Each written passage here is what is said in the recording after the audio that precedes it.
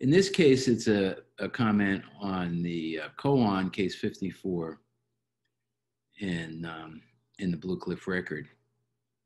Um, and I was, you know, in our discussion before the break, I was highlighting that um, uh, that the uh, author Xuedou does not complete the poem, and he says I leave out the last part. And we talked about how this meant that you know it's it's in the eyes of the beholder. Everybody's got to come to their so, same conclusion, and you know I think this is an influence on um, on Dogen's attitude in in a lot of his uh, discourse, whether it's prose or poetry, uh, and and uh, others and teachers as well. But um, it, it, looks a little out of context to say, um, "Don't you realize how impregnable the position was?" So these the poems in the Blue Cliff Record are designed to be comments directly on the um, on the case on the stories. And in the story, Yun Men, who was a famous uh, teacher, and you know we discussed that whole issue of of people seeking out the the famous recluses. Um, uh, so it starts out as a pretty typical story that uh, and you can you know you can read translations of it uh, in case 54 so um, where monk comes comes to him and typically the uh, master receiving a new monk would say, well, where did you come from? And, you know, that question is a challenge that ideally would reveal the true um, reality of the, of the person being questioned, and they would be able to incorporate them into their answer something uh, dynamic about their state of realization. Uh, but often is the case that they don't um, seem to respond to the challenge and uh, and they just give a kind of matter of fact or literal answer. So in this case, the monk says, "Well, I came from, you know, such and such a teacher. Uh, that teacher that he came from is not is not well known, or at least it, the way the history unfolded." Okay, so that's that's a context, and so um, in their dialogue, uh, Yunmen slaps the te- slaps that um, student twice because he asked, well, what did the teacher teach you? And the, and the student held out his hands and then he, um, he slapped the student and, and, and then, and then Yunmen held out his hands and the, and the, and the student doesn't respond appropriately. So he slaps him again.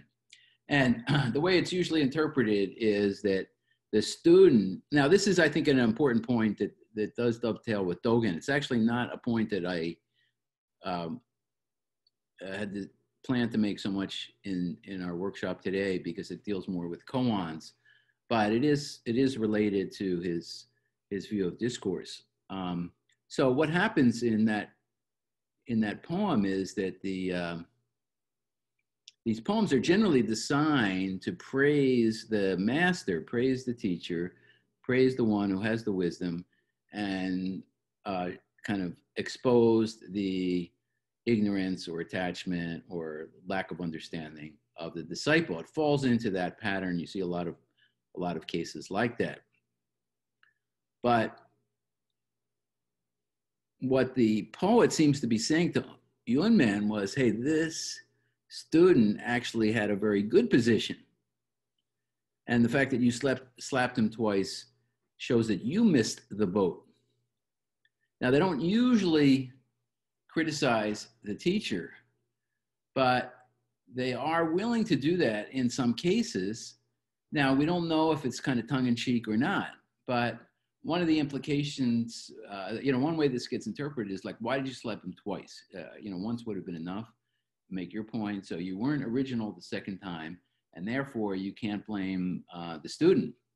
So what he's saying to uh, Yunmen is, uh, don't you realize that the position of the disciple was kind of invincible or was, was solid? And that gives it a little bit of different twist. And then the reason I connect that with Dogen is because, in, you know, very frequently, or I think a, a, very important theme, and this would be, you know, for another uh, detailed discussion and to show more examples of his interpretation of koans. But I think the one thing that Dogen tries to get into uh, very frequently is the idea that um, both master and disciple are leading each other to enlightenment, and the apparently ignorant or attached disciple is not necessarily a, you know, defeated or bested or uh, you know a loser in some kind of dharmic contest, the way it's often portrayed, and that um, and so by um, this commentator Xuedou questioning Yunmen here, it's a little bit similar to what would happen in um, you know it, it, was you can see that this would become an influence on Dogen's approach, but um, before I get started with a few other uh, poems, uh, was there any other comments or thoughts or questions coming out of the break period? Anything anybody comment or ask? okay, well, let's go to, um, let's go back to page two. Or was this page two? um, what page was that? Okay, let's see. The one I want to get to is um, maybe it's on page three. Sorry. Okay, so this does show a little bit about um, uh, a poetic example uh, of of the uh, relationship between Dogen and his predecessors, who he often cites, um, and but often um, takes them to task, uh, rewrites them, what they say, uh, challenges them. And that sometimes includes uh, And I think you especially see this in the um, Eihei Koroku, the, the wonderfully translated as uh, Dogen's extensive record by uh, Taigen Leighton and Shohaku Okamura.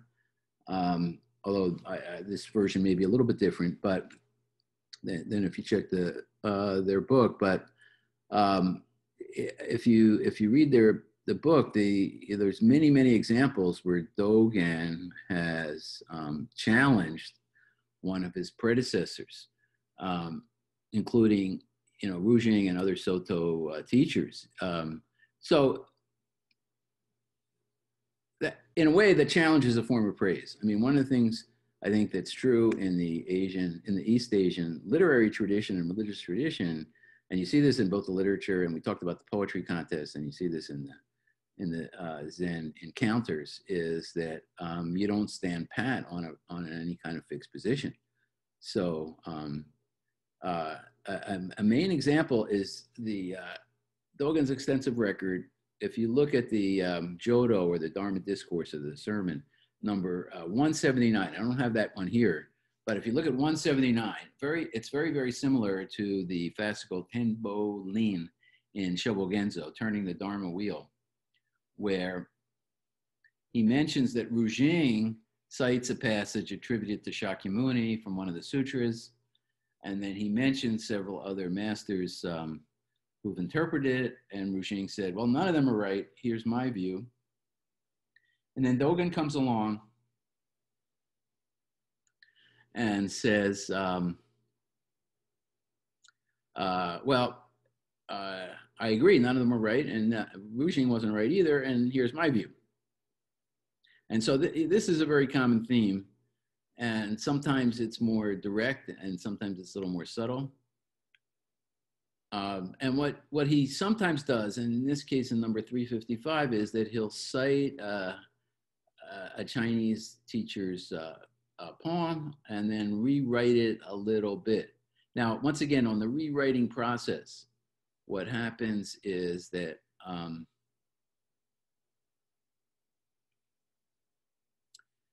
the the greatness of a new poem is you know not necessarily its originality but its dependence with uh, an inventive flavor on a previous poem. So the more you can um, emulate a previous poem and while changing it subtly, uh, the the better that is. So you don't want to, you know, nobody's expecting you to start out fresh. Of course, there are many good examples where you you do have a fresh take on something, or you do you do start out with a new set of imagery. But going back to somebody else's image and then changing it. Now, in Japanese poetic tradition, this uh, there's a term called allusive variation. I uh, that term is not used in Zen, but I think it would it does apply to Zen, and I and in my mind it it perfectly is suited to what happens in Zen, allusive variation. So you you allude to a previous poem, or you cite a previous poem, and you have your own variation on it, and um, the greatness of your variation is partly a reflection of the greatness of the original poem, and partly uh, uh, a reflection on your ingenuity in um, changing it a little bit. So let's take uh, these two examples. One is by Master Longya, and then the other is Dogen's um, re rewriting of it. Um, okay, so uh, would anybody like to read the uh, the first poem, "Study the Way"?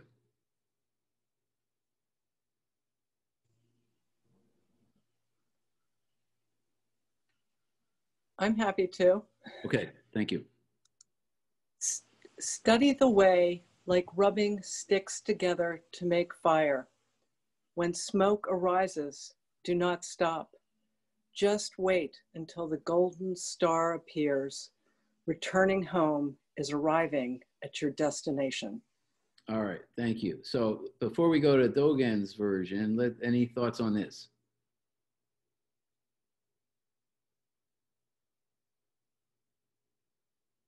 What, what would the rubbing sticks together symbolize?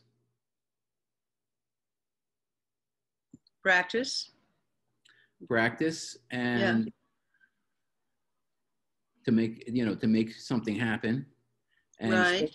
I think, um, and actually, uh, I think you talked about this in the, the, uh, uh, at that summer event, like uh, the, practice, the the interaction between the teacher and the and the student is the right the rubbing together, kind of the you know, mm-hmm. make that spark fly. Um, right. And so once the spark uh, comes out on line two, you know, keep going. Don't, you know, you uh, don't stop. And that's, that's, um, you know, that's a theme that Dogen would like and that you continue.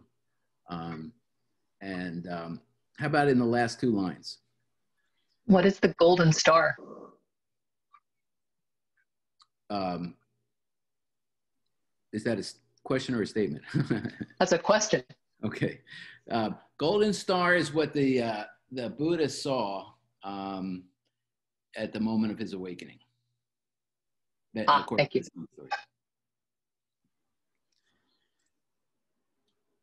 And returning home is uh, arriving at your destination is is seeing yourself as a whole. Okay, seeing the you know the self realization coming, you know, right taking the step back to shine the light, seeing seeing the true self. All right, so um, so uh, Dogen makes the comment. Well, you know, Master Longya is very famous. He started his own lineage. Uh, he, he was a founding ancestor of our lineage. I'm sorry, he was a founding uh, ancestor of our lineage. Uh, can his virtue be measured? There's not much choice in the matter that I make another verse using his closing uh, rhyme. Um, so Dogen says, well, um, you know, I'm going to have to, you know, restate this in my own way. But um, they, you know, I'm going to follow his pattern. So I'm going to follow his imagery. I'm going to use some of his exact wording and I'm going to follow the rhyme scheme and the tonal patterns and all those intricate rhetorical devices that are too complicated to try to work into any kind of translation to reflect it all. Um, but um, but but we know are embedded in there, and that's part of that's part of what um, Dogen would have learned to do when he was in China and and succeeded that. You know, one thing that intrigues me about Dogen's um, poems written in the Chinese style is that when he went to China and it was there for four years, we and you know and obviously practiced Zazen attained um, casting off or dropping body and mind, and uh, met uh, intimately with uh, Ru Jing on many occasions, and those dialogues were recorded in the in the Hokyoki record, and and so many things that Dogen accomplished.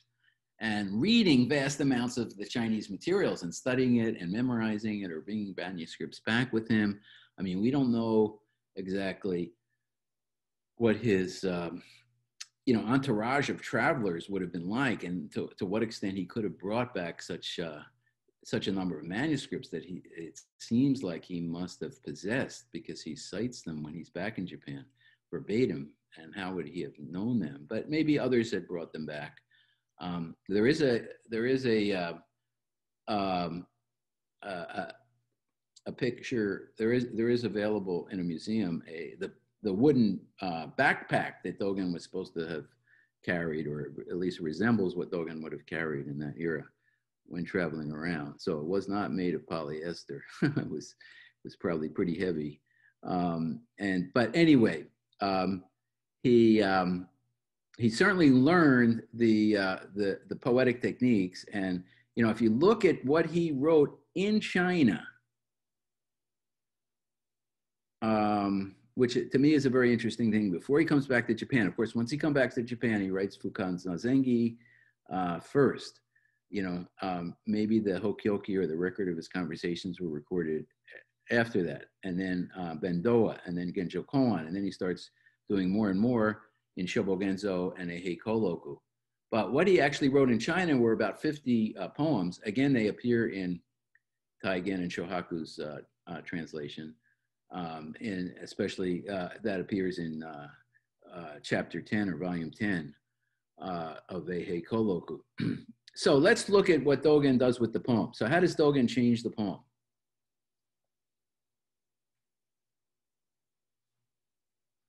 This, uh, am I there? Am I, can you hear me? Yeah.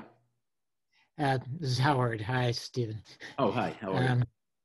Hi this seems to me uh, it's almost like um, the the platform sutra this combination of uh, poems the the and there's a little implication in the first one uh, uh, just to wait until the golden star appears but in here immediately appears in the very world is the supreme destination like it's it's already there just my sense of it it's already there.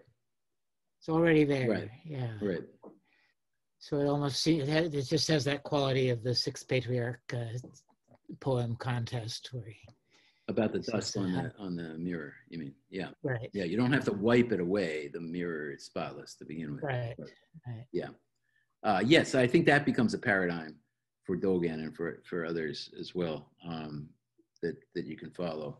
Um, and um, the um, of course when we talk about that with the dust um, we have to keep in mind that um, when uh, dogen said uh, drop off body mind or cast off body mind um, that apparently what his teacher Rujing would have said and they sounded the same in japanese but not quite in chinese so dogen may have mis- misheard it or or deliberately changed it um, uh, was cast. It was what what um, um, Rujing would have originally said was not cast off body mind, but cast off the dust from the mind.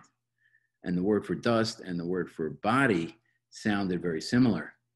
Uh, but in in the writings attributed to Rujing, we only we only see cast off the dust from the mind, and that was um, probably what he used. But dust doesn't only mean dust in the sense of defilement or pollution or or some or attachment or something negative because dust was a kind of a neutral word actually the character that was used for dust was kind of a neutral word in chinese buddhism that meant sensation or perception or the encounter between human sense organ and the objects of perception. And therefore it wasn't necessary it didn't necessarily have to be defiled. And that was part of the implication i think in um, in the in the platform sutra poem uh, also. But anyway um, so yes, so Dogen, by changing a few words, he says it's here and now.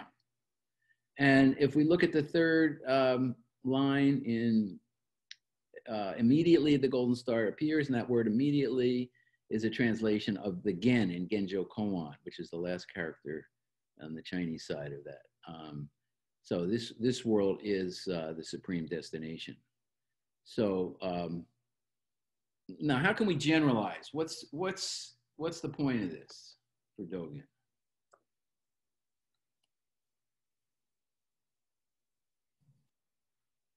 Well, isn't it that it's always right here, but we have to we have to see it.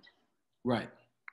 So if we go back to the uh, that Japanese folk song I quoted back at the beginning earlier this afternoon, um, the Buddha is ever present, but we don't because you don't you know we don't see him right in front of us. We think it's just a misty dream. Um, you know, Dogen wants to weed out that implication. So if his you know his predecessors that he reveres in a certain way, but if that in, implication, I think that's true in Platform Sutra. I mean, that's what Huineng is saying. Like, um, you, you, you can't let it stand if there is an implication that is going to lead you astray. And I think in Fukan Zazengi and other places, he says, you know, if there's a hair breadth of difference between practice and realization, or between um, delusion and, and enlightenment, if you let that like tiny difference stand, it's going to uh, infect uh, the understanding uh, later on in the process. Um, and and yet both verses are so valuable uh, to have to have the first from Master Longya for I think particularly for a um, maybe an early student to spur right. them on. Uh, do not stop uh, because it's so tempting to stop. At least it was for me at that moment. Um, yeah. But then to have um, Dogen's verse as well. I I really love seeing them side by side, but find them both really valuable. Uh, right. Yeah, that's a great so, point. It's something yeah. struck me just now that's absolutely incredible. Uh, what if Dogen had understood Rujing and heard dust, cast off the dust from your mind? Would we be here today? um, would we be here today? Um, yeah, but we'd be following Dogen. Oh, we'd be following Rujing, not Dogen. I, you know, um, yeah. Um, well, you know, I always think like, um, I mean, Shakespeare said a lot of things, right? But uh, probably the most famous thing is to be or not to be.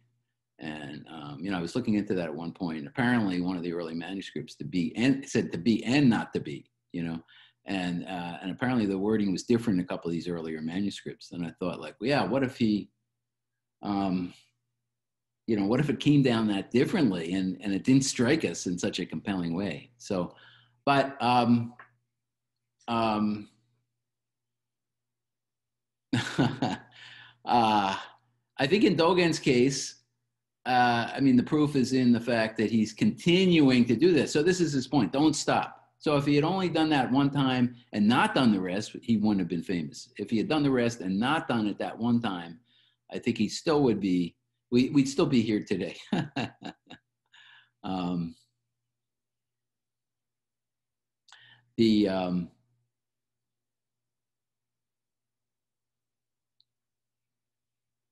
um, so, um, uh, but, um, but but you know this is an example of him still. You know you can see that he's deliberately doing it.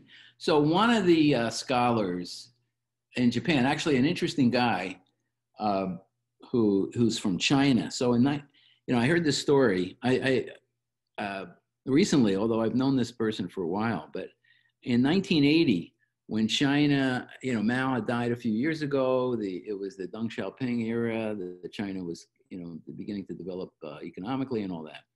And uh, the first glimmers of coming back to, uh, you know, so-called mainstream um, international relations were happening. One of the things they, you know, were willing to do was to revive Buddhism. Now, in that in that time, they still didn't have a lot of money. And in the 80s, the Japanese were very wealthy, and the Japanese, some of the Japanese uh, leading um, monks from temples like at Tofukuji Temple in Kyoto and a couple of others, but especially Fukushima Roshi at Tofukuji Temple, went to China in the 80s and brought, uh, brought their monks, brought other tourists, brought uh, uh, funding, and also tourists that would come there and, and that would help the uh, economic situation at some of these old temples and contributed greatly to the um, to the renewal of a number of old temples, Zhaozhou or Joshu's temple, and uh, many other temples were were started to being revived in the 1980s to, based on Japanese economy. Now Japanese economy is based on Chinese tourists coming to Japan, which of course, has been limited during the virus. But, um, but anyway, in 1980, apparently um, the Chinese government selected about five young monks who they sent to Japan to get educated in the Japanese system and, and the, but to understand, you know, what Japanese scholarship had produced and to come back to China and, um, and, and, and start establishing academies to, to study the history of Buddhism, especially Zen in, in China. And um, anyway, one of them, you know, never made it back to China and he stayed in Japan, became a professor in Japan and gave up the monkhood and, and all this stuff. And uh, he translated Shobo Genzo into modern uh, Chinese. Um, and so it's, it's kind of um, interesting to, to think of coming kind of full circle, like Dogen misunderstood it. But he, his view of Dogen is he, he coined the term, Dogen was a genius of misreading. so going back to that question, will we be here? I think that is an intriguing question. Uh, but um, but the genius of the misreading continues. Now, others, you know, there were people and followers of Soto Zen in the in the 1700s. There was a whole faction led by this guy Tenkei Denson, uh, which said like Dogen misunderstood. He he missed the Chinese, and they rewrote some of what he, you know, they started to rewrite him because they said no, he he just didn't understand it in some cases. Um, that was a minority report, of course, but um, it, it, was, it was there. Now, okay, let's look at the next example. Next example is a little bit different because this is more of a biographical reflection. And I think one thing about the poetry for Dogen is, and we saw that a little bit with the Fukakusa, you know, we get a kind of an, and, and the one about, you know, giving up fame, giving up um, paper and pen um, you know, we get a little bit more of the emotional side of Dogen. Some people say Dogen's very uh, kind of puritanical and kind of severe. And uh, what about the compassion? I think that if you read Shobogenzo Zuimonki, uh, Record of Things Heard is, is one of the main translations. Um, you know, we do see a very deeply compassionate side of Dogen. Um, but, um, and, and, and, and he uses a lot of common sense examples in teaching, like, um, um, but by um, but but it doesn't have that high-minded philosophical or poetic impulse so much. It's more it's more uh, down to earth examples that he gives of what it means to be a good leader, what it means to be disciplined, what it means to follow the correct path and not to stray, uh, what it means for the chief cook to make food that uh, others want to eat, not things that he thinks are important, and, and uh, observations like that. But um, but here I think we also get a sense of his own uh, emotion. Now the story goes, and uh, some, some people dispute this, but when Dogen was at Eiheiji in, in 1247, he was called by the shogun to come to the town of Kamakura, where the shogun was going to build a new temple, which turned out to be Kenchoji Temple, which is still the main, the biggest Zen temple in the town of Kamakura, outside of Kyoto, and outside of Tokyo. And um, eventually, the leadership went to a Chinese immigrant monk um, named Rankei Doryu in Japanese. Um, but and uh, Dogen was supposedly offered that. Now, if you see that film called Zen, that's titled Zen from 2009, it was kind of a biopic of Dogen with a famous kabuki actor playing Dogen. And I think it's a very good film. Uh, it's a, uh, I, I, hope some people have seen that. It's it's available. I think it can be, you know, you can see it for for free on the internet. But I am not sure of the availability right now. But it's um, it's available with subtitles and you know, it's got a lot of, um, you know, it stretches the the history quite a bit. But I think there's a very interesting scene when he goes to talk to the shogun. He goes to teach the shogun, and the shogun, you know, regrets his life of uh, violence and and bloodshed. And and and in history, you know, that shogun did become a monk. He gave up his shogunate and he became a monk, and he practiced meditation. Not with Dogen, but he was looking for Dogen to be the teacher. And Dogen apparently was, um, you know, disturbed that he would lose his integrity if he took this offer. You know, and Dogen often cited the case of a famous uh, Chinese uh, monk from that era in the 1000s, uh, early Soto uh, monk in China, who um, who turned down the uh, imperial robe several times, uh, the offer of the imperial robe, because he just didn't want to get entangled with the political forces uh, as as we've seen with Susha, that, that there's, you know, if you if you refuse to take uh, to get along with the politics, you could be punished for it. Maybe Dogen left Kyoto because of the politics. Um, so here's another occasion where he's entangled in the socio-political happenings, and he goes there and he spends about six months, and he doesn't live in a temple because there is no temple for him to live in. So he lives in the home of Hatano, uh, his samurai patron, who encouraged them and accompanied him on the trip. And in this poem, there's an interesting uh, onomatopoeia with the Chinese pronunciation in the third line because he says like he fell into this kind of slumber, taking his rice in the home of a layman and, um, you know, letting the snow collect. And he's kind of uh, frozen, stiff, it sounds like, and not really responsive. And he kind of lost his spunk in a way. Um, and then um, he hears the spring uh, thunderbolts, which is the onomatopoeia. And um, then he wants to go back to, um, even though he's not in Kyoto anymore because he's in Eiheiji in the mountains, but it's it's in that general direction, and the climate and the and the um, you know the outlook's pretty similar. So I think he's saying he, hey, let me go back there, and then he he, gave a, a prose sermon when he gets back and he apologized to people. Apparently, the monks weren't happy. It's hard to say if they were unhappy, but you know they were glad to see him back, uh, coming back to um, uh, to Eiheiji to guide them because what what would their um, so I think if he had stayed in Kamakura, we definitely would not be here today. Let's put it that way. um, and um, but um, Okay, one thing I wanted to get to, uh, and let's go back up uh, a little bit. Yeah, keep going.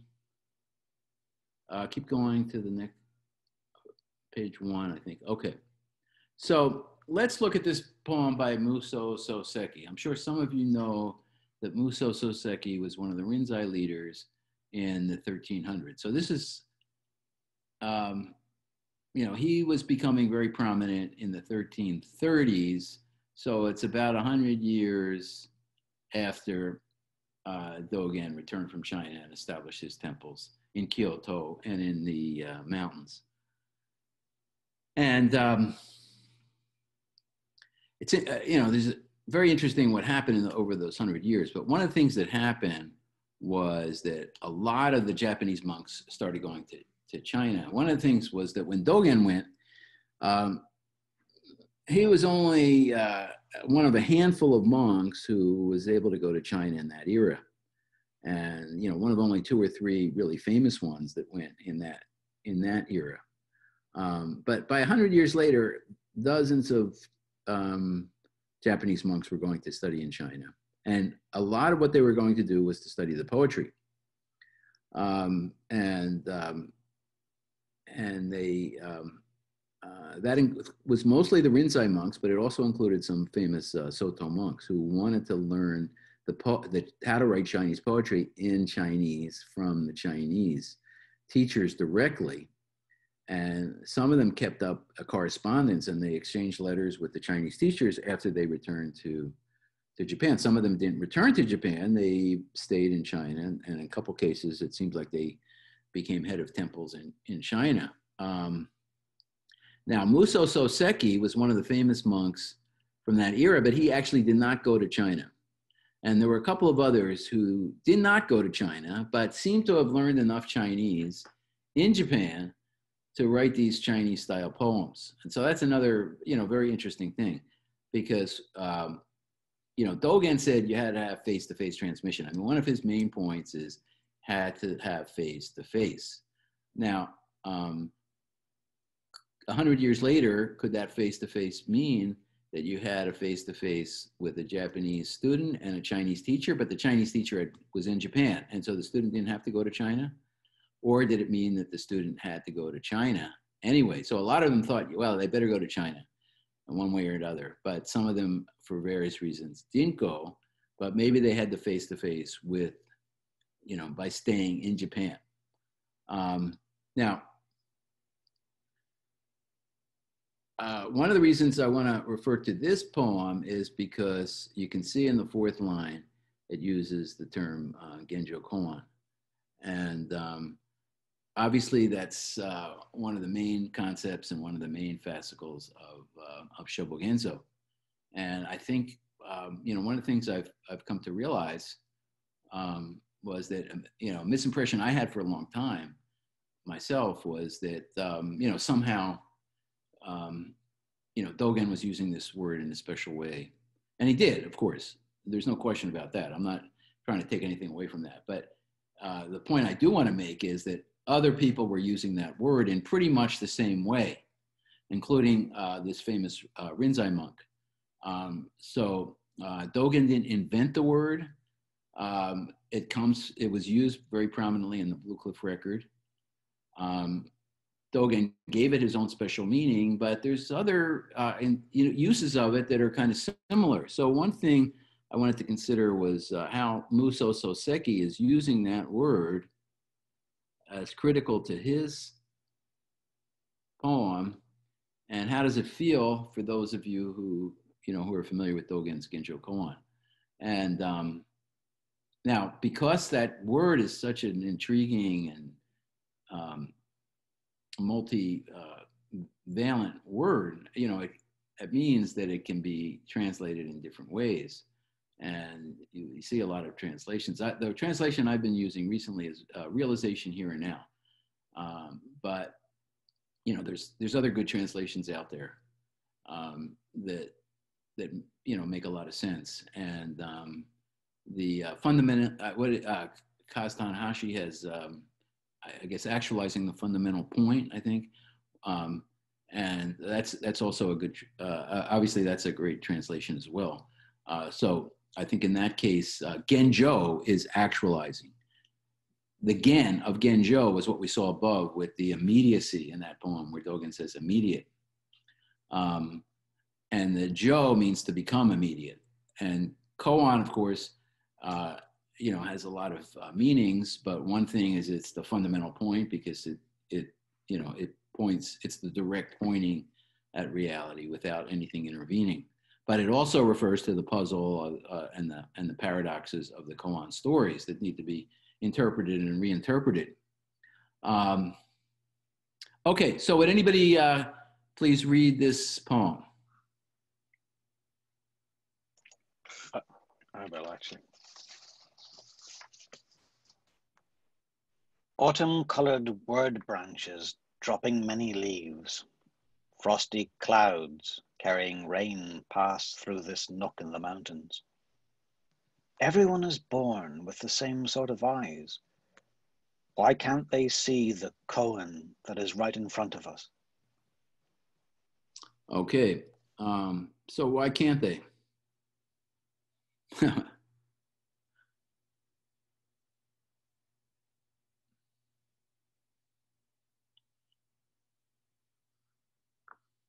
Or any any thoughts about this one?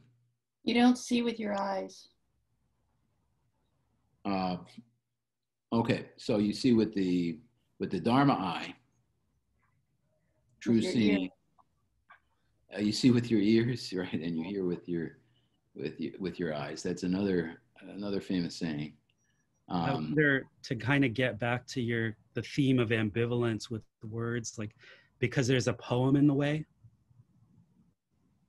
Uh, okay, so um, there's a poem in the way, or there's a poem that's not in the way. There's a poem blocking the view. Is I guess what I'm trying to say. Okay, so his poem is blocking everybody else's view. Would you would you say that? Maybe. okay. Um, yeah. Well, I think you're right. I mean, it is. I think it is partly the ambivalence of the words. So what? What? It, uh, you know, he makes this interesting comment, or at least the way translating it here. Um, um, the um, that the leaves are kind of like words.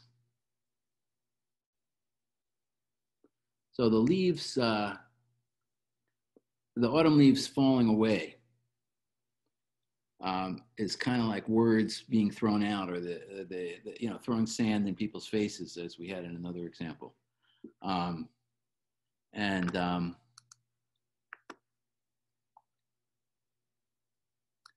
the um, now I think one thing here is, uh, um, you know, we talked about how some of these poems end with the description of nature, right? Um, you know, the rain falling, the uh, uh, the birds flying off, and that kind of thing. Here, it's at the beginning. I think this is uh, this is going back to the what stands in the way, what's obstructing the seeing.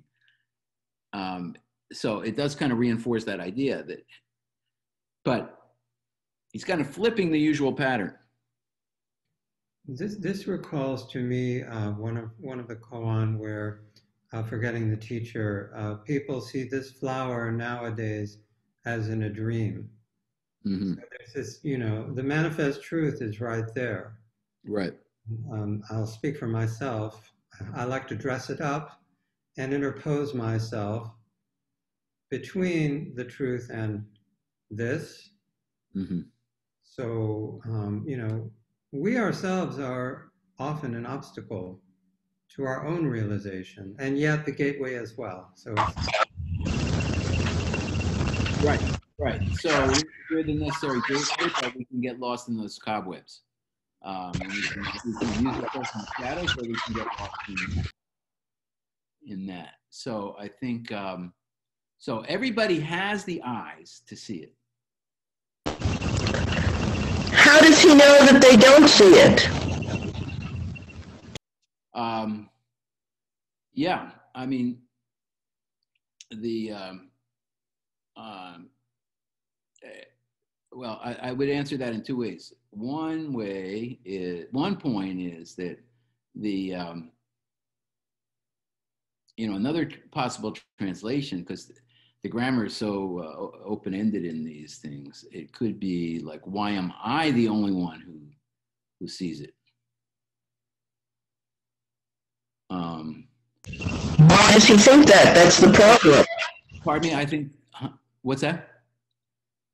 I said, why does he think that? That's the problem. Yeah, right. Um, that would still be a problem. That why? How does he know?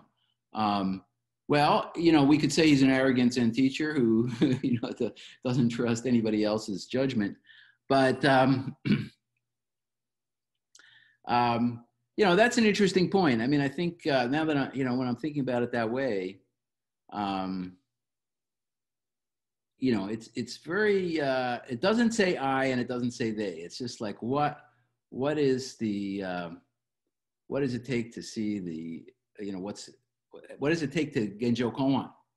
You know, why don't they Genjo Koan? Why don't they realize what's right in front of us? But that flower is there, so we're our own obstacle. So I think, yeah, maybe the accusatory tone of it um, is, you know, I'd have to rethink that translation. Maybe it doesn't need to have that accusatory tone. Although, you know, it wouldn't be unlike the Zen teacher to to reprimand uh, foolish, stubborn uh, disciples, but um, I don't see it that way at all. I see it as really compassionate. Um, you know, when when you're in a Zen center, what you find is all these kind of broken souls that come to find themselves and to right. to organize themselves, and and it's it's heartbreaking. And so, uh, why can't they see that they are ex- exactly what they're looking for? It seems to me that's something that that is certainly a part of the Zen tradition is understanding right.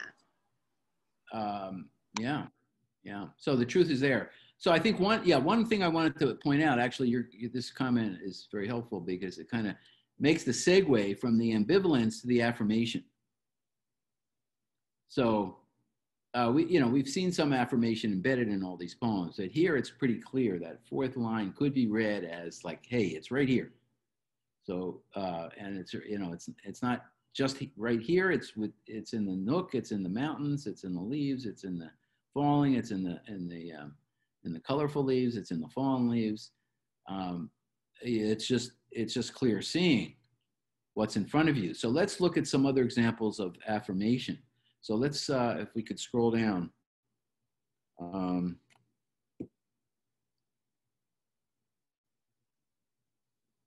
Um, okay, let's uh, let's scroll, to keep going. please. Thank you. So let's go to, um, okay, uh, let's, yeah, a firm path. So here's a walk-up poem by uh, the same author, Muso Soseki. And um, like Dogen, uh, a lot of these poems both wrote, a lot of these poets wrote, but monk poets wrote in both the, the um, um, uh, Chinese style and the Japanese style. And, um,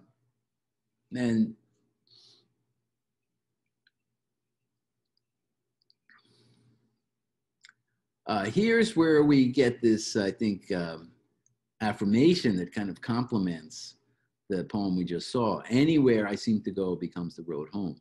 So we talked about, you know, arriving at the destination and the implication that there is, um, you know, Dogen tried to weed out that implication that there's something futural, something you have to anticipate, something you're getting to, and he's saying it, it's immediately right here and now.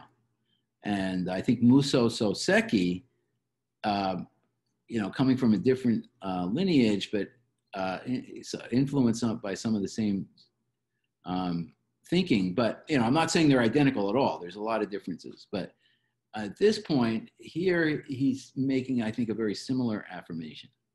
Um, anywhere I go is the road home. Um, so the step back can be a step forward. The step back is to the is to the retreat, but the step back is also let's go to the next place. Um, okay, so um, now let's look at the poem um, just below, a couple below, um, where it says affirm more examples. So um, this was an early poem written in the uh, 800s.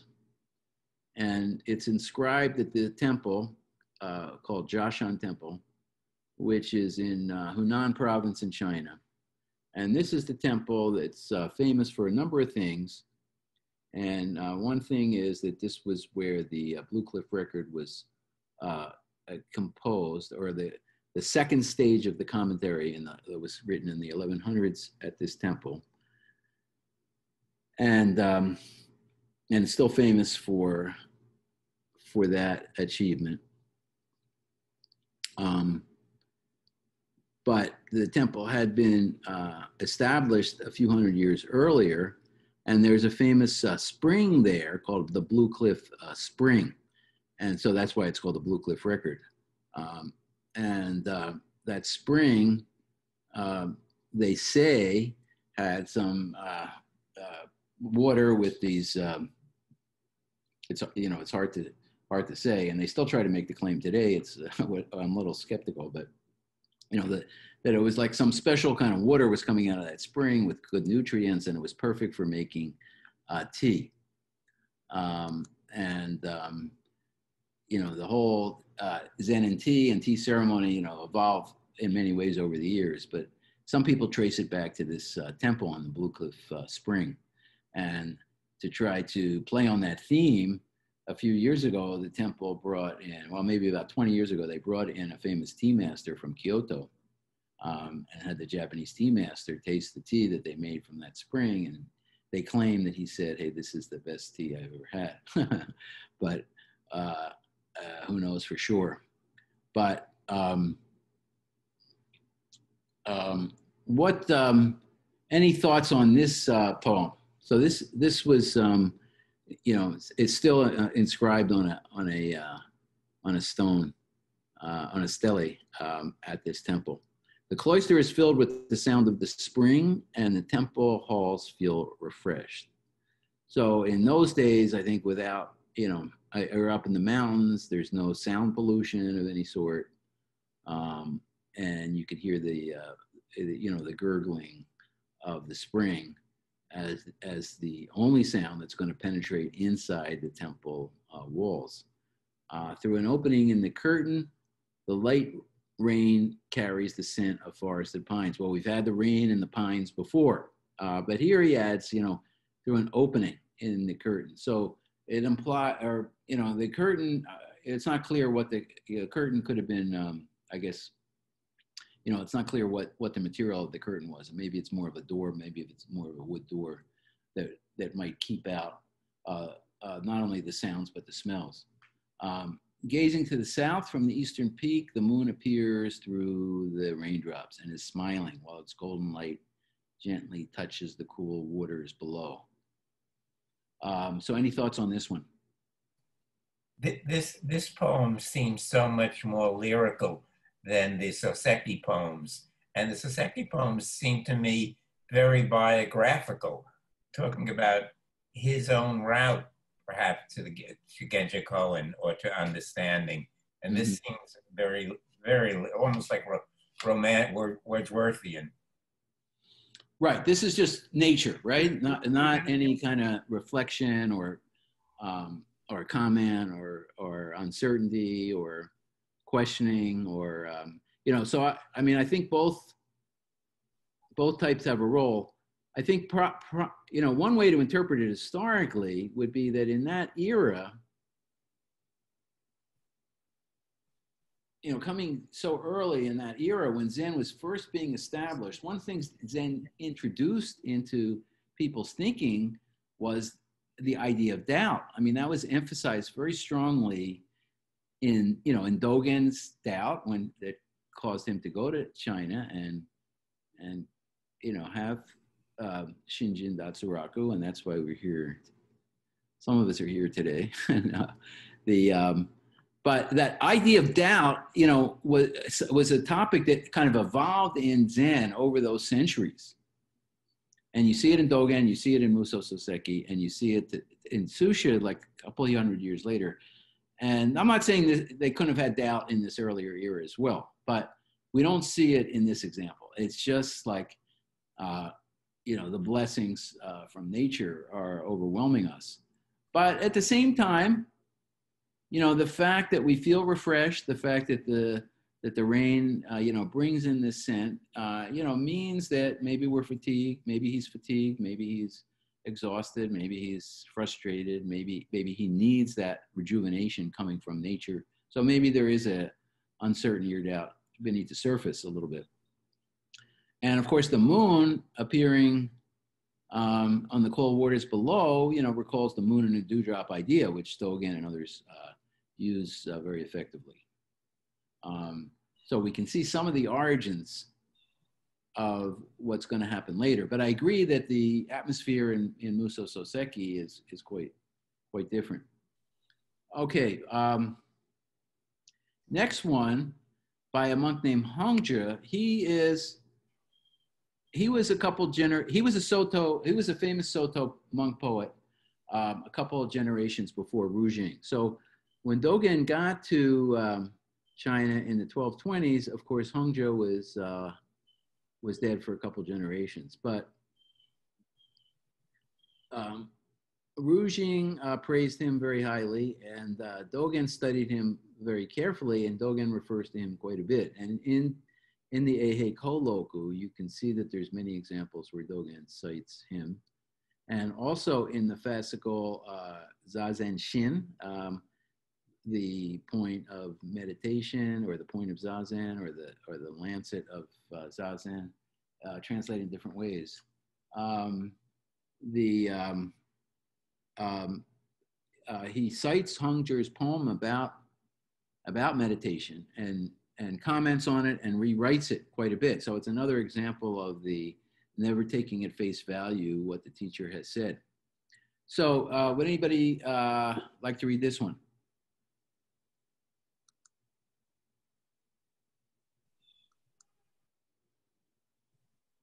Sure, I'd be happy to. Okay.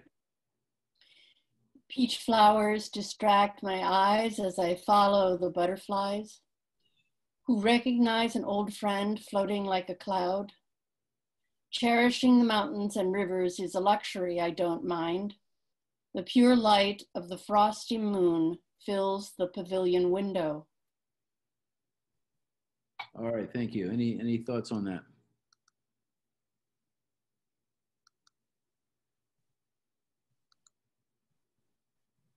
Is uh, is a luxury I don't mind because he's a monk. He's not supposed to have luxuries. Or... right. I think, I think Shozan has a comment when you have a moment. Um, you're right the, about the luxury. Uh, go ahead. Can you unmute Shozan? Thank you. Sorry, Dr. Heine, I just had a question about what do you mean when you said Dogen brought uh, uh, doubt? Can you just, you know, explain that a little bit more, what you mean? Yeah, okay. So um, I think, um, I mean, one of the things we talk about with Dogen's life story is that when he became a monk, he very quick, uh, quickly started questioning uh, the senior monks at the at the temple. Like his first temple was was not a Zen temple because Zen was was just getting started. So he he went to the typical temple, which was called the Tendai School, and they were famous for the doctrine of original enlightenment. And the idea of original enlightenment could be interpreted in different ways, but basically it meant like, okay, we all have it, and we've been saying this already, but what do we do with it? And so Dogen said, well, if I have it, then why do I have to meditate? If I have it, why do I have to practice discipline? Why do I have to do anything if, I, if we already have it? You know, if it's an original endowment, if it's an innate uh, quality. So that was Dogen's doubt. What was the ne necessity of practicing meditation and other discipline if, if, I, if, if we are all endowed with that? But I think doubt in a broader sense had been developing in Zen in China in a very kind of, uh, I think, a, a, kind of contemporary way. I mean, I think this is one of the things that why has uh, contemporary resonance is like we get these stories about people in China and Japan from that era where, you know, and, and we've seen some examples with Muso and with Dogen and with Susha and, and the step back guy where they're, you know, they're finding their way. They they they're struggling to get the wisdom. They're struggling to express it. They want to uh, stay clear of uh, uh, things that would uh, disturb their integrity and disturb their quietude. But they also realize they can't just stand back as recluses. They have to convey it. They have to express it. And so every step of the way, there's a doubt. Now they you know they started to develop this idea, which um, you know is is still used in some circles in Zen of what they call the Zen sickness or the Zen malady. And the Zen, you know, and the idea is like when you're pursuing Zen, um, and it, it creates this very deep sense of uncertainty about how do you attain it? How do you express it? How do you convey it? How do you keep a balance between um, your your calm disposition and trying to deal with uh, many forces that that are uh, adversarial or threatening in some way. And you have you know social and political pressures and you have psychological uh, stress and all those kinds of things. I think it has a very contemporary flair and that kind of storytelling that uh, does and other teachers of that time do. And to the point where they get sick. I mean when dogen uh, got to china and he took that boat ride he, he couldn't land in china for uh, at least a few weeks, maybe a couple months, because he said he was sick and he couldn't do it. And um, the monk that he went with, um, uh, who was a senior to him, a guy named Myozen, he died after two years. Dogen lasted for four, Dogen spent four years there, but the monk who was his senior died in two years. And mainly they said, well, it was too stressful because uh, it, it was, you know, it just produced a lot of anxiety. Obviously, being in the new country created you know, a lot of language barriers and cultural barriers. So I think that's a quality that gets woven into a lot of the stories about the Zen teachers.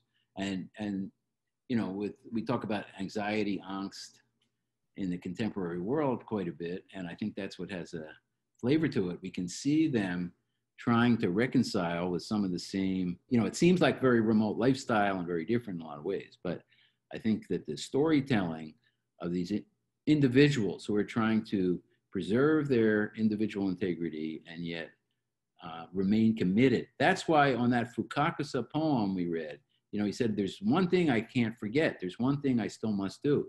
And it's like they all you have to be committed to teaching, to sharing, to getting that entanglement um, with disciples, to rubbing the sticks together with somebody. You can't you know, so all of those are doubt provoking. Is that, I hope I answered it. okay. All right, thank you. So back on this, on this one, okay, the luxury. So, you know, cherishing, you know, the nature, just looking at the mountains and rivers is, is all the luxury that you need. Um, and how about the butterflies?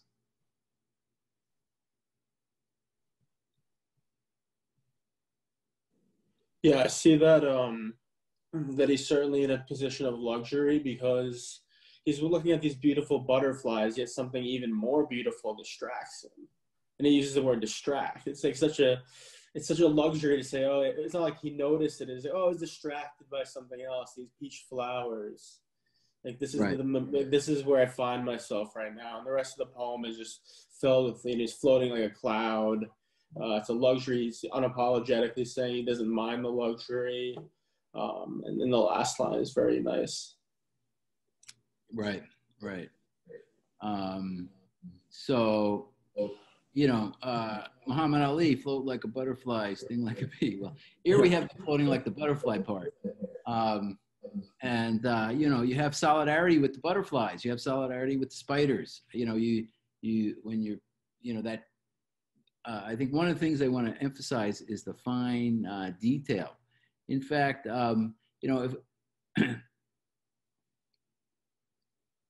um, uh, you know, as we're talking about it, I'm, I'm recalling that, you know, in some of the, um, so Dogen, you know, obviously had the Genjo Koan and so did Muso and some others. But there was another um, approach. It wasn't necessarily that much different, but a term that was used is like see things in their fine detail. um, you know, um, look at the small details. That's a kind of Genjo Koan in, in its own way. It's a little bit different alternative. The Genjo Koan is more like big picture, taking the mountains and rivers. But when you take in the mountains and rivers and and and not you know lose the uh, not not lose the trees for the forest, so to speak. I I see an allusion here to relative and absolute. Um, there are layers. There's a foreground and a background. Okay. In this vision. So the butterflies are, you know, this highly unstable, phenomenal situation where, although evanescent, the peach flowers are, by comparison, much more stable. Mm. And effectively, without a lot of wind, they're fixed in the vision. Uh, and superimposed are these, you know, um, very related, you know, not separate, but their quality is quite different, their energy is quite different and dependent on the fundamental or blossoms. Probably I've just smeared the whole thing with a bunch of poison. Well, yeah, I, I mean, um, uh, okay, but I, yeah, I think one way to maybe take that point, if I understood your point, was to, um, okay, the butterflies, yeah, they're, they're going to come and go, you know, they're going to flutter away almost instantly, right? Uh, but you try to follow them, and maybe more butterflies will come or something uh, similar. Um, the peach peach flowers, they're not going to be there forever, but maybe they're there for a week or so, so they're steadier. Um, and then you know behind that you have the uh, the mountains and rivers that you know aren't budging probably um, and uh, but then the and then the moon you know is that cyclical. You throw in the cyclical aspect of it. So you have the forefronting of the butterflies and then in the middle ground the peach and then the mountains and rivers in the background. Um, but um, in a way because they're the constancy of it they they're more present to you than the fleeting. And then the frosty moon is uh, coming and going waxing and waning and appearing and disappearing but when it's there, it fills. So it fills the windows, it fills the cobwebs, it fills the, um, you know, it fills the water. Um, so you know, it's. I mean, the the emphasis on on the moon is something that they, um, you know, that that uh, going to appear over and over again. All right, so let's uh, let's go on. Let's go. on. I, I have a question about this one. Um, is he inside or outside? For the first three lines, I thought he was outside, and then suddenly the moon is filling the pavilion. What do you think? Well, Um, yeah, that's a good point. I think the pavilion is one of those indoor outdoor spaces. So it doesn't have solid walls all around it. And that's the whole, the, you know, the point of the pavilion would be that it's a structure that allows you to view. You know, the moon viewing pavilion was the common theme. So the pavilion is probably an open structure, maybe near the water, maybe over a lake or, or near the river. Um, that, that, um, that, uh, that does create some um, distance or you know, there's something. Um, but I, I think that's how that's how I would take it.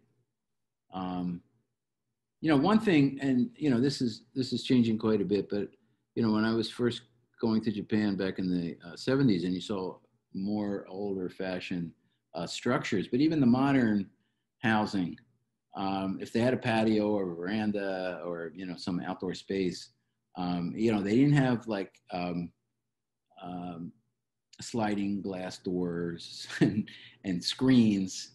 Uh, so it was either open or not open to to uh, nature. So that you know, if it was open, it meant that you know the breezes would come in and the light would come in, but it also meant that you know the bugs could come in and and the uh, mugginess could come in.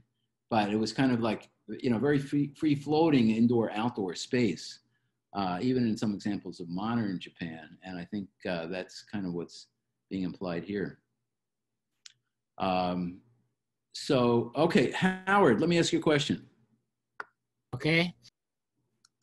Okay. Um, so, you know, we talked about the uh, Dylan part. Is it, you think it's a good time to do that or should we stick with the Zen? Um, I'd be interested in hearing a little about Dylan, just to bring it bring it fully into the almost fully into the modern. Okay. All right. So uh, some of you may be more or less familiar with uh, Bob Dylan lyrics, but let let's take a let's take a diversion here. Um, Nobel Prize winner from 2016. So if we could if we could scroll down to those um, last couple pages, and then we'll come back and finish off with. Uh, couple Dogen. So, um, so I don't know. There, there's a lot of, you know, there's there's like six or seven hundred uh, Dylan songs out these days, and some some are better known than, than others. But th this is, I think, uh, one of the favorites for for Dylan, Bob Dylan fans uh, from 1965 uh, that is still played a lot in his concerts, and um, and, and covered a lot by, by different musicians. And it's a, it's a bluesy kind of song and it's, it's, um, you know, the lyrics are, are kind of simple, but I think that, you know, there's a kind of Zen quality and a kind of, um, uh, it, both in the rhetorical style and in that whole sense of like what, we're talking about with, um, with kind of uh, the doubt coming, kind of um, coming across in relation to images from nature. All this is kind of packed into these three short uh, verses. Um, so if you're familiar with the music, you know, you can sort of play it in your mind. If not, maybe you can, you can uh, uh, play it, uh, you know, YouTube it later. But um, to give a little background, the song from 1965 was on the album Highway 61 Revisited. So as, as uh, I'm sure some of you know that, you know, Dylan career started in the uh, like in 62 63 and he was famous for the protest songs times are changing god on our side um, hard rain's gonna fall blowing in the wind and then he as as events were changing he was sort of um, turning away from what he called finger pointing songs and giving a more um, kind of uh, philosophical or surrealistic um, critique of society, which you can see in a lot of songs on on this the albums from this period. And um, and a lot of people, and then he also went electric, and you know the folk music people, some of them were upset with that change, and um, and and so Dogen, uh, so Dogen, so Dylan was cast in a sense of uh, uh, uh, at this career stage, I think, with a strong sense of this doubt, because even though he was commercially successful in some ways. Um, and his name was out there and he, and he had a big reputation. uh, people's expectations of what he was supposed to do and people expecting him to write the kind of music that you know they wanted to hear and he was trying to explore different musical styles and different um, uh, sources of inspiration. You know that that was uh, coming in conflict but it was also you know for for those of you familiar with the society at that time i mean it was the you know the the, the pro civil rights era was turning into the anti vietnam era very quickly. And the uh, Lyndon Johnson administration in you know between 64 and 66 the atmosphere in the country was changing with this kind of um, discontent and dread setting in as as the Vietnam War was escalating. And um, and there were backlashes with the civil rights. And uh, and so there was um, you know a feeling some of the feelings of optimism of the earlier 60s were becoming um, a, a little more, uh, you know, feeling was becoming a little more dire. So if we look at the um, at the first verse, he says, "I ride on a mail train and can't buy a thrill. I'm up all night leaning on the windowsill, but if I die on top of the hill, if I don't make it, you know, my baby will." He uses the word "baby" here several several times in these in these verses. But um, you know, I listened to this song for many many years, and I thought of it in a certain way. And then when he, you know, I had written a book about uh, Dylan and Zen influences and possible Zen influences or Zen connections, and um, that was back in 2009.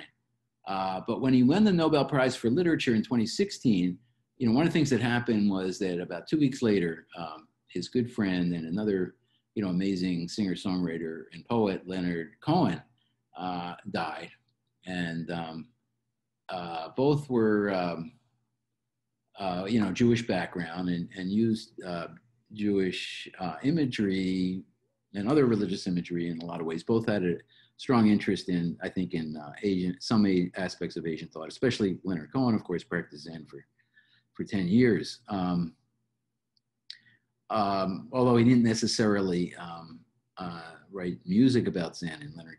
Um, but but um, anyway, the point was that I came to look at this this particular poem, uh, this particular song, quite differently than I had ever seen it before, because I started to think of the idea of both uh, Dylan and Leonard Cohen as kind of these uh, biblical prophets who were kind of foreseeing things or trying to show show the way, and yet uh, very reluctantly because it takes a toll on the prophet. And you know, back in the biblical times, they talked about the reluctant prophet, the prophet that was, uh, you know, didn't choose to be it, but was kind of chosen. That was the way chosen for them, you know, by God in, in biblical terms, or by by the fate or the karma or the you know the the the mission that he, that each of us tries to pursue and so I started to see it, uh, you know, this kind of simple verse in that in that light. And um, uh, so let's take the image. I ride on a mail train, you know, based on what I'm saying, or if you're familiar with the, you know, his background. Uh, any thoughts on what that image might mean?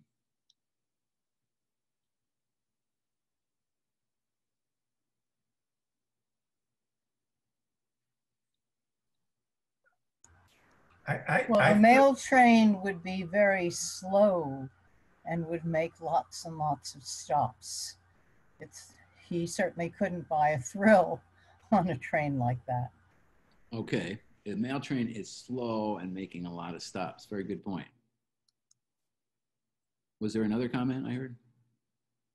I, I thought it might relate to uh, sort of riding on the back of the civil rights movement or you know on, on the train following the times and all the protest uh, songs and he was made into a prophet but he didn't want to be a prophet uh, and he can't buy a thrill he's he's not he's not he's not happy being riding this train uh, and uh, he can't he can't he can't buy a thrill so he takes the electric guitar uh, right Good. Yeah, I like both of those comments a lot, and that's uh, that's uh, that, you know that captures what I was thinking.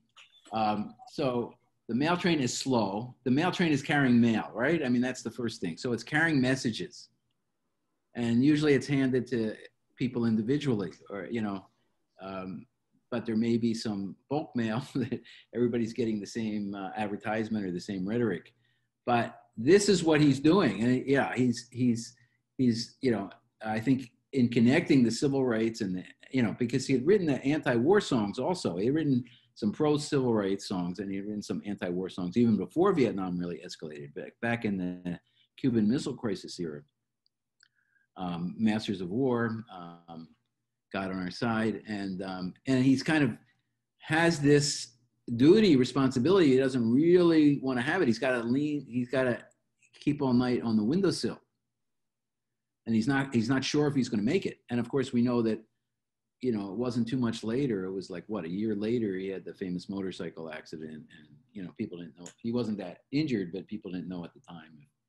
Uh, since since many other uh, famous uh, singers from that era, you know, um, died on the motorcycle or from or from one way or you know a drug overdose or something. Okay. So were Next. you were you when you you thought of this uh, this first uh, quatrain? Oh, is it you know also it reminded me because I'm a Zen person of uh, you know wanting to sitting and wanting to get clarity and just it's not working you're just sitting right. and sitting right.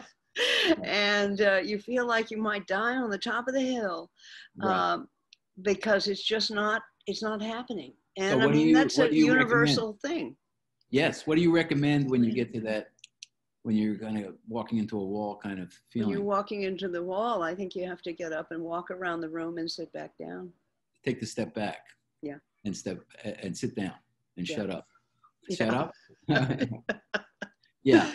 yeah. Um, so, I mean, yeah. it just reminded me of that. Um, yes, and I think that's you know part of that doubt, uncertainty kind of feeling that that you know has a mo- that has a very contemporary resonance for all of us, whether we're doing whether we're doing practice or not. But in the practice world, it can also happen. It doesn't make it disappear. So it has to be it has to be worked through with.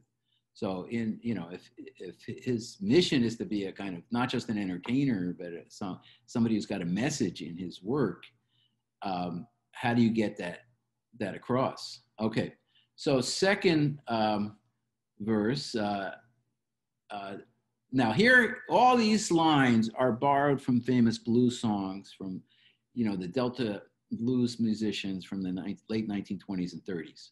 So if you go, if you trace these, he's basically doing what we see the Zen teachers doing, where they have the elusive variation and they throw it in a different way. And here he's got the mama word a couple times.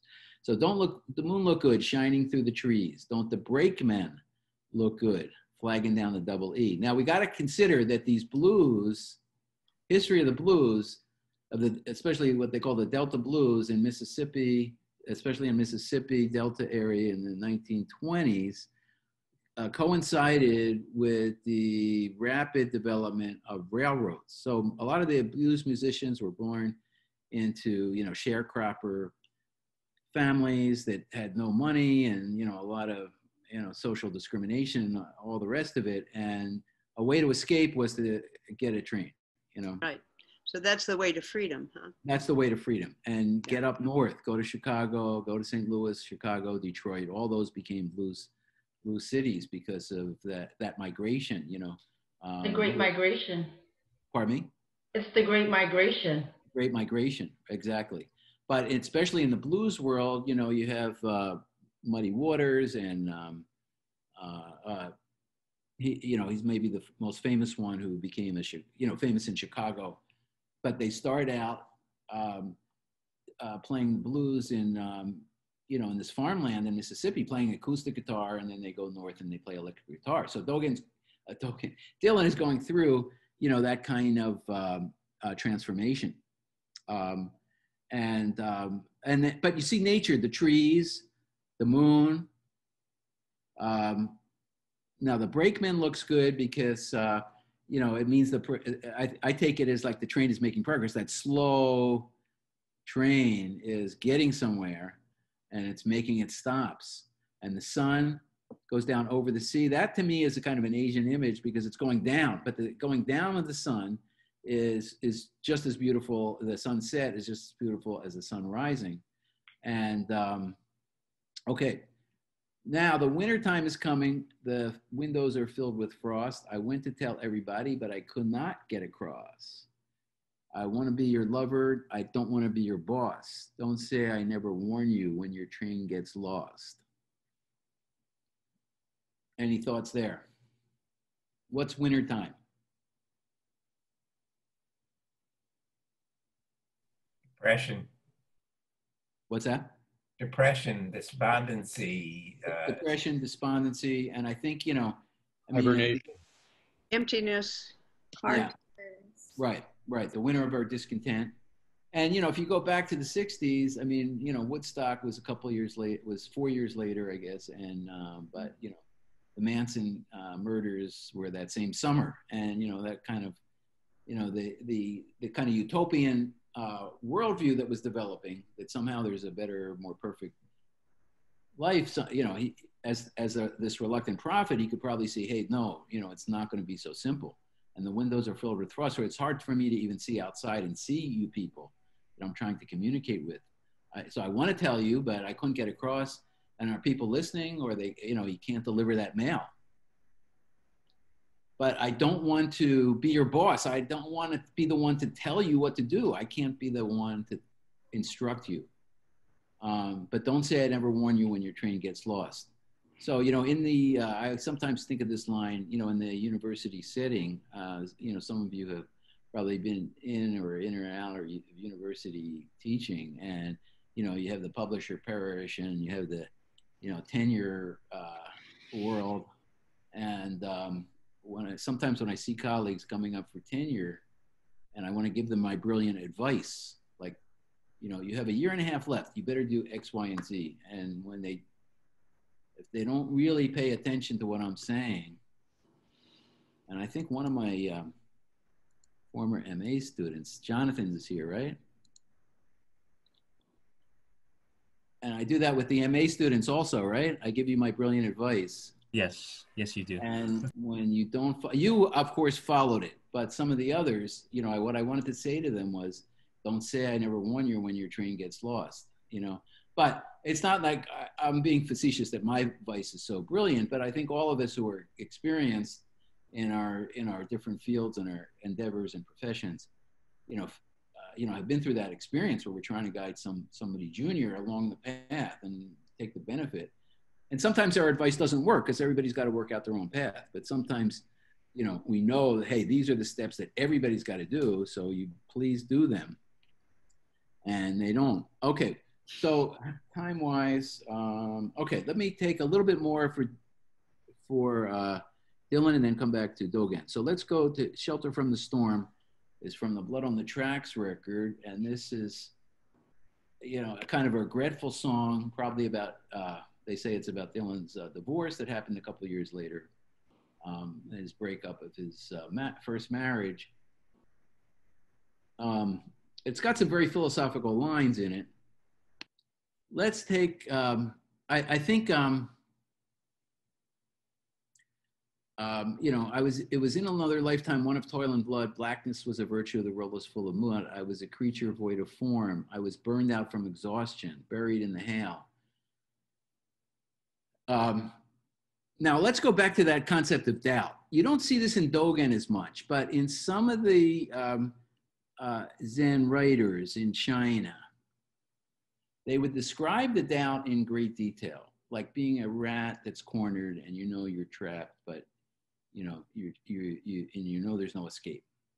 Um, they often used animal imagery here to to kind of show how uh, when you when you feel that doubt, that despondency, that wintertime feeling, you know, you feel like trapped. Um, like uh, one example I like is when they say a dog, a dog smells this uh, oil uh, that's burning, and it, you know it smells good because there's some, um, you know, it's it's it's going to lead to some good food, but it's hot oil, and the dog doesn't know enough not to lick the oil, even though it probably knows on some level, and it licks the hot oil and gets burned. And that's kind of a level that we go through where we we have those frustrations and futilities and, and we can't get past it. Um, now, that third verse I like. The deputy walks on hard nails and the preacher rides a mount, but nothing merely matters. It's doom alone that counts. A one-eyed undertaker blows a feudal horn. Um, I, you know, I think this has a Zen flavor to it. Um, also, um, any thoughts on that first line? The deputy on hard nails and the preacher rides him out.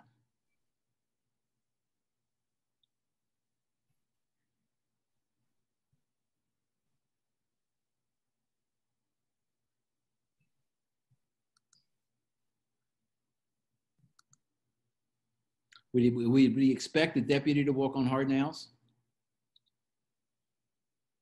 Who walks on hard nails usually? Saints. Right. And who who rides them out?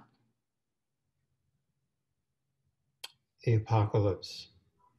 Well, yeah, could be. Um, Cowboys cowboys and deputies, right? Sheriffs and deputies are in the old Western days would be riding them out, right? Um, There's and, itinerant preachers also in the Old West. And preachers could ride them out, but and you know that's a good point. But the way I took this is like it's a, a kind of Zen reversal of the common sense thing. That when we say the deputy, we think of the writing eh, you know, that would be more associated with writing that When we think of the preacher, not so much the preacher, but the the, the religious practitioner, especially, you know, uh, the, I mean, the stereotype would be the uh, the old-fashioned yoga in India of like, uh, you know, self-denial, self-torture, torture the flesh to to liberate the mind, kind of idea. So you're kind of reversing the the religious figure and the secular figure, and then saying, um, but but kind of doom, the apocalypse oversees all that. Like nothing in the end, and there there is some apocalyptic imagery in uh, in Buddhism. Buddhism. Buddha had the fire sermon.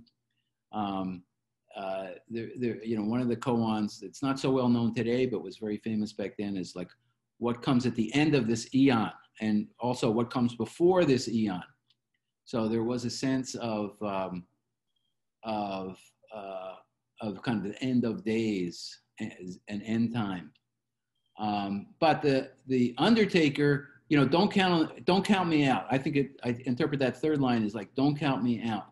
The Undertaker is futile. I'm not going to die because of these pressures. I'm not going to die because of these role reversals and all this. I'm going to, you know, and the, and the fact that doom is is on the way. I still have to um, uh, take my um, my stand. Okay, so let's go back. Let's go back to page. Um, I think it's going to be page five.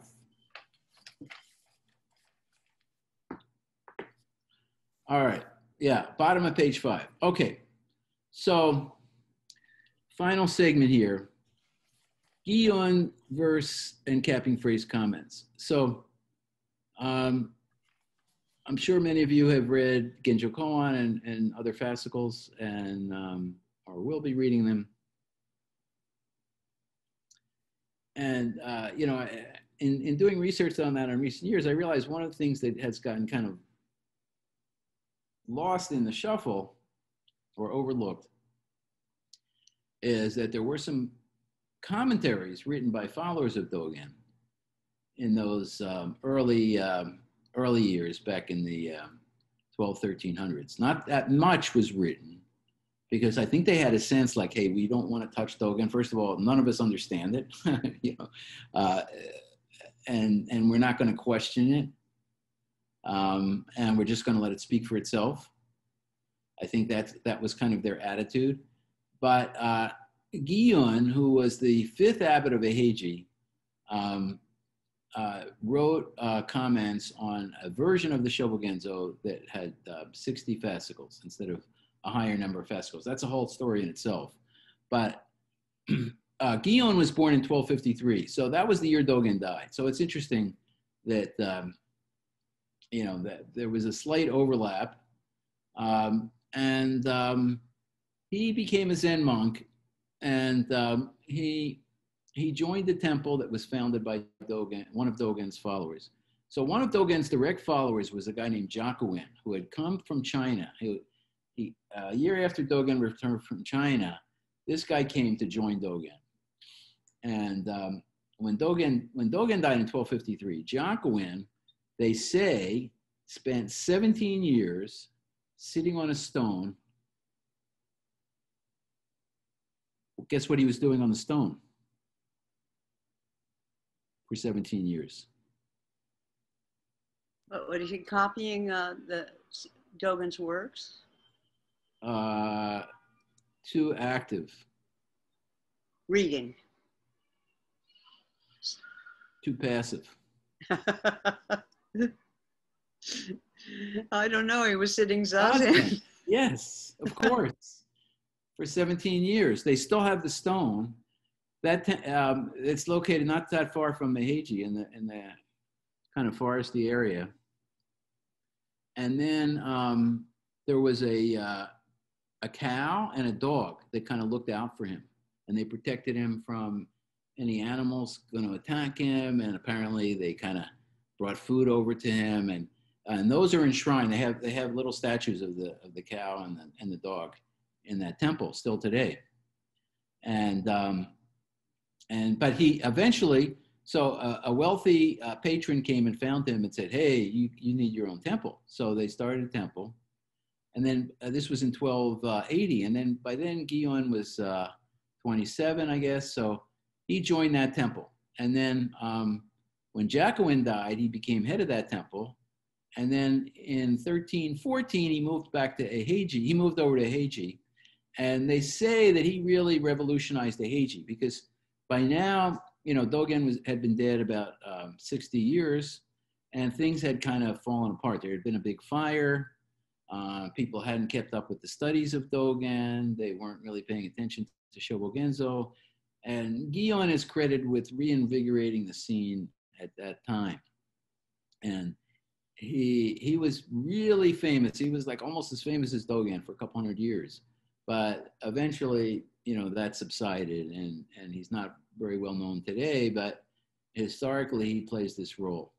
And so what he did was he took uh, the fascicles, sixty fascicles, and he writes a verse on each of those fascicles, and he also writes. Um, a capping phrase.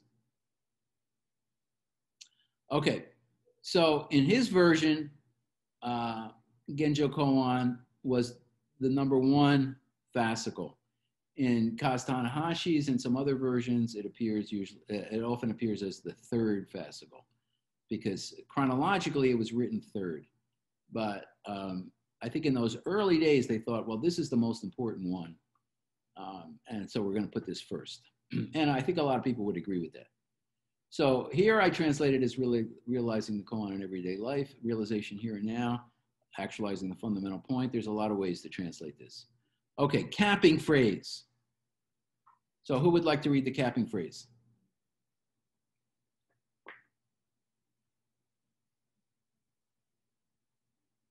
Uh, I could do it. it, it you want me to start reading at the words fascicle one, Genjo Koan? Okay, go ahead.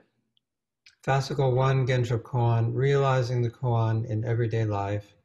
What is it? Do not overlook that which is right in front of you. The endless spring appears with the early plum blossoms. Using a single word, you can enter the open gate. Nine oxen pulling with all their might cannot lead you astray. Okay, thank you. Um, so, any thoughts?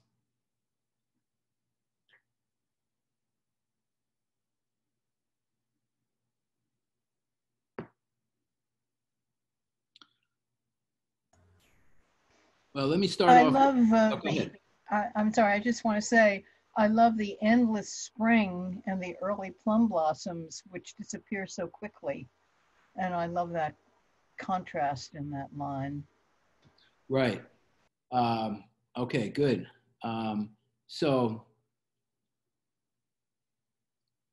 uh, yeah, so to comment a little bit more on that, the um, endless spring means um, I mean, obviously spring ends every year, but it comes back every uh, every year. So it's in that sense, it's kind of um, you know each of the seasons has its own kind of e- e- endlessness or eternal quality to it. Um, and the plum blossoms, you know, if you go to um, parts of China and Japan. The plum blossoms are the earliest blossoms to come out. And Dogen has a whole chapter called Plum Blossoms, and he writes quite a bit about it. And uh, plum blossoms come out, and, and there's still snow. Uh, you know, there may still be snow on the tree um, and, and the plum blossoms. And they're very fragrant blossoms, kind of intoxicating uh, fragrance. And so, yeah, that contrast or the, the complementarity. You know, one of the things Dogen says is like, plum blossoms don't come because it's spring. Spring is here when there's plum blossoms.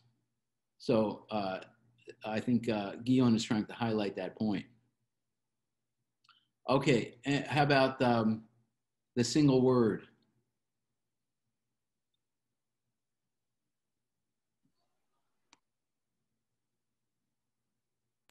Um, if I may comment, I think uh, the single word kind of reminds me of uh, uh, the monks who were enlightened from the monk that was enlightened from hearing the the pebble strike the bamboo, or from hearing the other monk, uh, you know, that saw the the the plum the um, the cherry blossoms uh, springing. You know, you can have that that single uh, moment or that single uh, word that can uh, help you reach enlightenment. And at the same time, there could be uh, a thousand words that don't help you reach enlightenment. It's, it all depends on which one you know really resonates with you personally. Right. Good. Yeah. I mean, one. Uh, you know, there was a famous story where Bodhidharma, the first Zen teacher, was trying to pick a successor, and he talked to four people and he gave them answers. And Dogen said, "Well, look, if if he had if six people had been there, he would have you know he would they would have had six conversations, and if hundreds of thousands of people had been there, he would have had hundreds of thousands of conversations. So you're right, there could be hundreds of thousands of words, but if it's not the right word, it, it you know if you don't hit that right, you know if the if the sparks don't fly from the rubbing the twigs together, it's never going to happen. But if if the right word happens, uh, then the gate the gate is there. And the gate you know it's the gateless gate. So the gate is not a gate. The gate is is that false uh, obstruction that we that we interpose between us and and the genjo koan. Um, and and when we we get that uh, determination uh, the ox you know cannot cannot affect us. Um, so um, you know nothing's going to take us away from getting uh, getting through the the gate if we see what's right in front of our eyes. So, you know, I like to contrast this one with the Muso Soseki uh, poem. One other thing about this one, the capping phrase, what is it? So uh, that's, that's a question. If you look at the, the Chinese, the grammar, you know, it's clearly a question. What is it? But I think, and um, that Giun's intention here in following what Dogen often does in interpreting some of the koans is not to say what is it, but, and this is the, this is the, uh, I keep looking, I just want to make sure we're uh, time-wise. Uh, this is the, um, uh, this is the big question. This is the crescendo question. How thinking of uh, Dogen, uh, how might we legitimately retranslate this, these three words? Doesn't seem like there's a lot of wiggle room on a certain level, but I think there is an important point here. Any any thoughts? Any wild guesses? I would say, um, how is it how, how is it? How is it? Okay. Which uh, takes it away from what being kind of dualistic. An object. Yeah. Mm-hmm. So yeah. to more of a state of mind or a state of being. Yeah. Okay. How, how am I? How am I? Um, I think the um, I, I, like that, except that you know, in the in the Chinese, it's it's an it, so that would that would change it a little bit. But I think um, I have something. I think those are good suggestions, but I have something a little more drastic in mind. How about who? Um, yeah, I mean the it's kind of open ended what that interrogative is. who or how, but you're personalizing it. You're making it about the experience. You're making it subjective. Yeah. Rather than ob- the object. So those are good. But even How more. about who's on first? Pardon me. Who's on first? Where Uh, is it? More drastic. Is it? Closer. This is it. This is it. Yes. In other words, it doesn't have to be a question. Like if we said, "What is it?" But if we if we said instead of it, we use this. This is what. And I think Dogen does this on a number of occasions where he turns a question into a statement. So, what are you thinking about when you do zazen? This is what you were thinking about when you were doing zazen.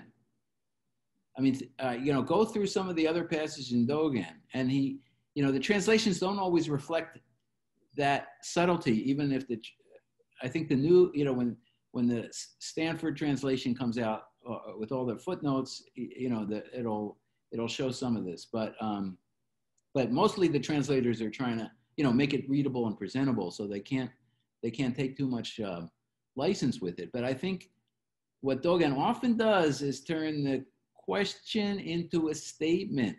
And so it would be legitimate to say, this is it. You know, Genjo Koan is right here. It's not a question. The question is the answer. Um, it is what it is. That's what Genjo Koan. I mean, Genjo Koan means you're looking right in front of your eyes and you're seeing for the first time. You're seeing the earthworms, you're seeing the butterflies, you're seeing the spider webs. Uh, maybe you maybe you were attentive to them before, but now you're seeing them, but not the not just the physical seeing that that dharmic insight. Um, I I kind of feel like the question or statement, uh, what is it, or it is what, uh, relates to the fourth. I'm sorry, the third line, using a single word. Yeah. I see that as the uh, response or parallel to it. Right. So what is that single word? Could be the single word could be, you know, what? What is the single word? What? What is that word? You know, the word is what?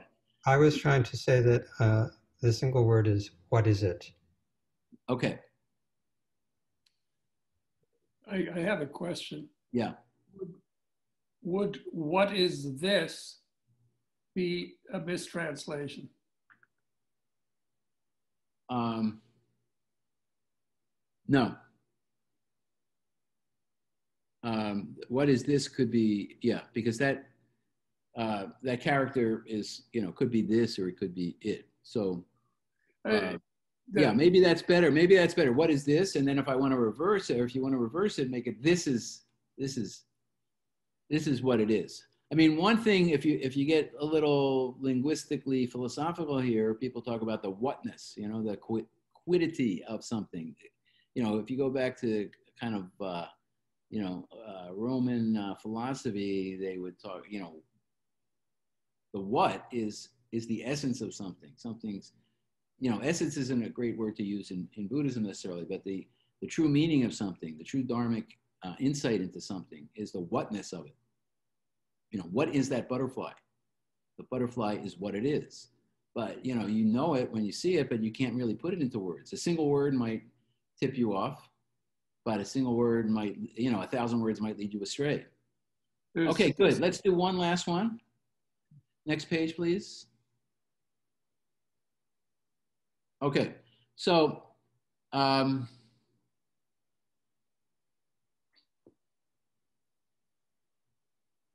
okay, let, us do number eleven.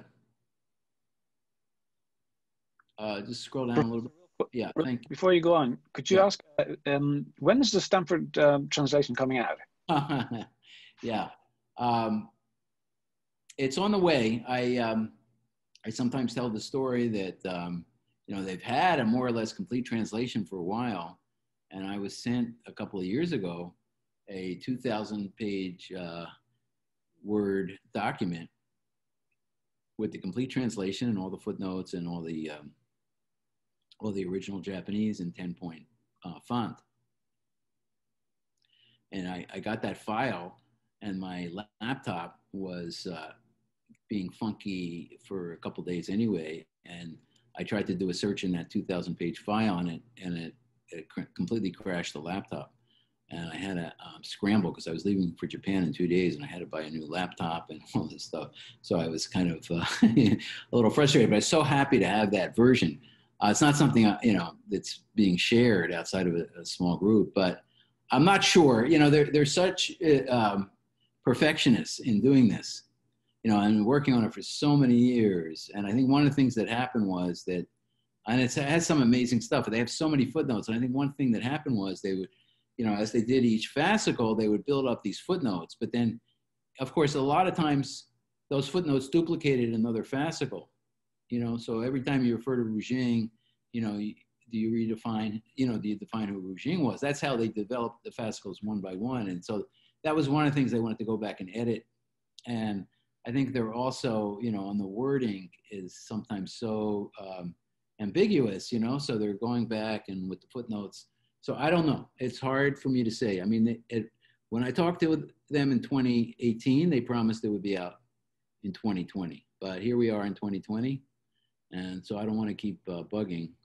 But I think you know the other thing is it's going to be a massive uh, project. So last I heard, you know, it was going to be at least seven, eight, maybe nine volumes, and I I think you know getting the publisher lined up and you know I don't know what the logistics are, the economics are, how many people are going to be able to access it. Um, so uh, but it, you know, it will kind of revolutionize things. You know, it, it, had been available on a website, as some of you know, um, and it was around 2018 when they took down that website, so you can't access it. But I think Carl Bielefeldt was a very generous guy, uh, has been known to respond to people by sending them versions of particular fascicles. So if, if somebody has a request of some particular fascicle, um, you know, my understanding is that he would be willing, or he has in the past been willing to uh, uh, to send that out,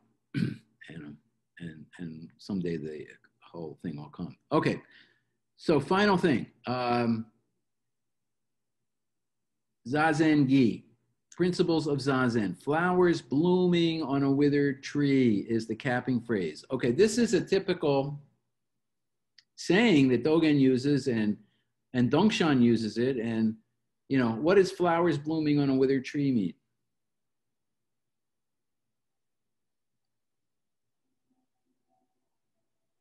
Insight. I think it's insight. Insight. Yeah, you're sitting there and suddenly flower blooms. Yeah. Okay. Insight during the the you know after the after the winter time. Uh, in the in the midst of the winter time, in the midst of the dark cave, in the midst of the delusion, and then the insight comes.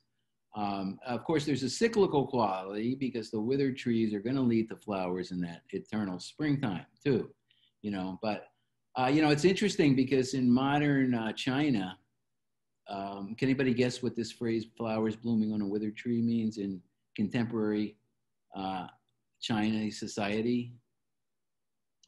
It sounds a lot like um, uh, autumn spring romance. Yes.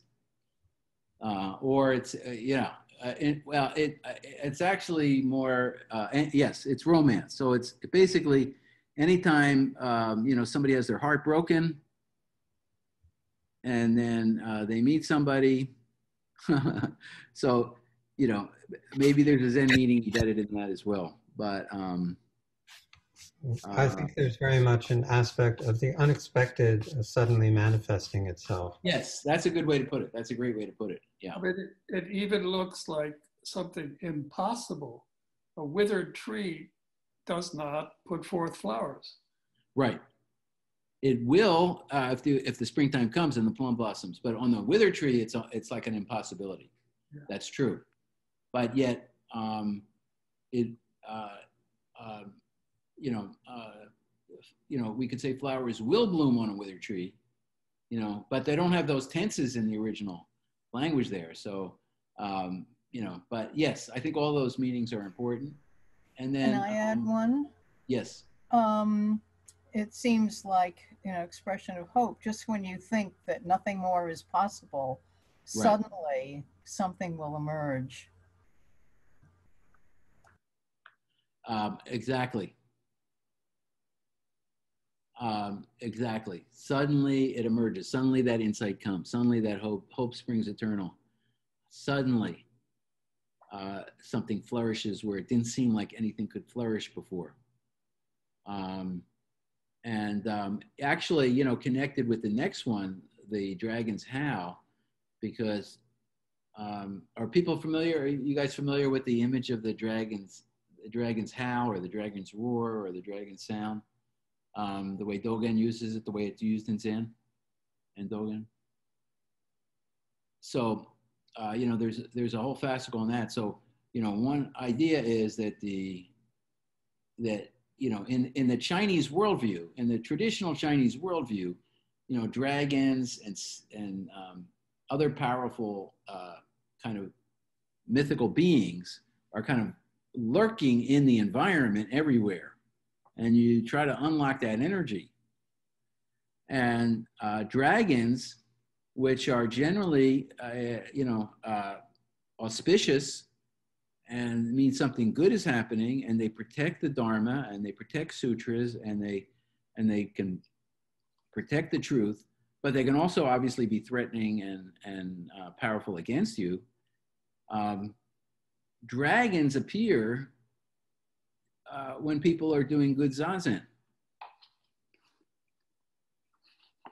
And they give off this how because they're content. Now, the, the word how, I've tried to look into this and it's like, because a lot of people translate as how or roar, but you know, another interpretation is just like, it's just like they're breathing. It's just like dragons are contentedly breathing.